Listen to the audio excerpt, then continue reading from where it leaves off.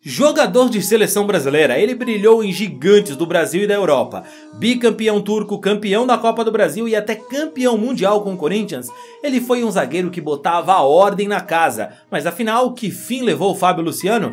Se aposentou? Ainda joga? Fica tranquilo que eu vou te contar. Mas antes, se você ainda não é um inscrito no canal, se inscreve agora mesmo para apoiar o nosso trabalho. E assim você recebe mais vídeos como esse, beleza? Fábio Luciano nasceu em Vinhedo, no interior de São Paulo, em abril de 1975.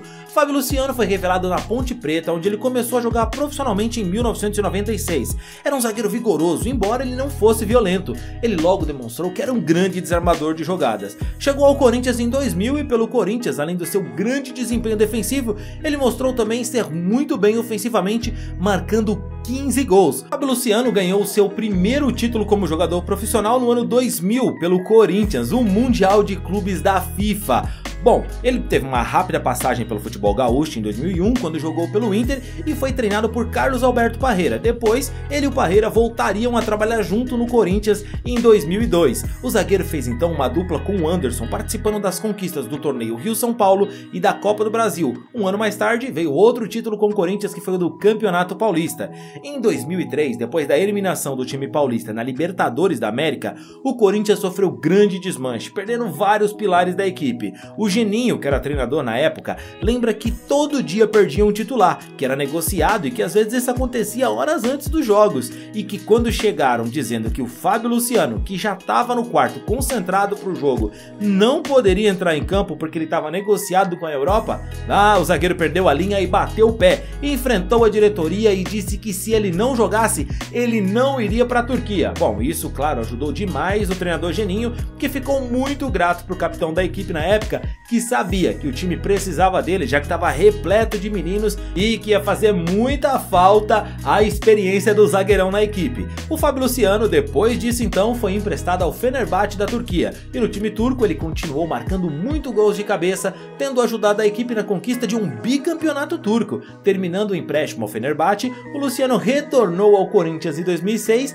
e machucado com uma lesão no pubis, ele não voltou a atuar e ficou se recuperando até o ano seguinte. Então no início de 2007, o Fábio Luciano foi novamente para a Europa. Dessa vez chegou à Alemanha para defender um modesto time, o Colônia. Quando então, no fim da temporada 2006-2007, ele recebeu uma proposta irrecusável, essa claro de um gigante brasileiro, o Flamengo. Retornou então ao Brasil depois de 4 anos sem jogar por aqui. O Fábio Luciano chegou ao elenco rubro-negro na metade do Campeonato Brasileiro e rapidamente ele assumiu um papel de liderança no grupo. Bom, no Flamengo ele só jogou por 2 anos, mas a torcida tem a impressão que ele ficou lá por 10 anos, já que a identificação foi muito rápida. Bom, dito isso, ele foi um dos grandes destaques da equipe no Carioca, no Campeonato Nacional daquele ano, onde o time teve uma reação impressionante, saindo da zona de rebaixamento e terminando o campeonato na terceira colocação. Após não ter certeza se ele iria continuar a jogar futebol em 2009, já que pensava em se aposentar, ele resolveu continuar a defender o Flamengo por mais um tempo.